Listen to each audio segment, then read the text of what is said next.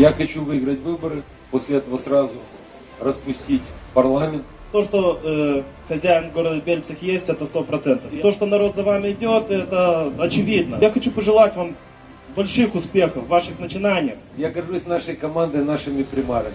Мы во всех городах стране не проиграли на последних местных выборах ни один город. Первый раз выиграть выборы легко. А вот через 4 года, когда хочешь еще раз, люди уже смотрят на то, что ты сделал за 4 года. Мы являемся первой промолдавской партией в стране.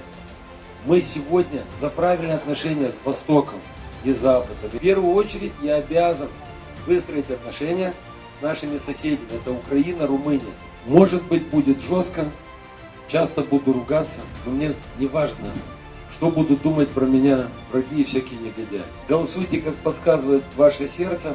И самое главное, идите, пожалуйста, на выборы. Я считаю, историческая миссия – остановить весь этот произвол. Да, работать нужно будет жестко.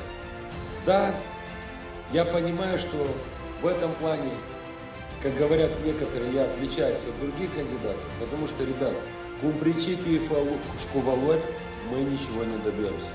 Кировые сапоги, куфай ездить по стране, и если надо брать черенок от лопаты или вилы и просто выгонять всех негодяев с парламента, правительства, президентуры и так далее.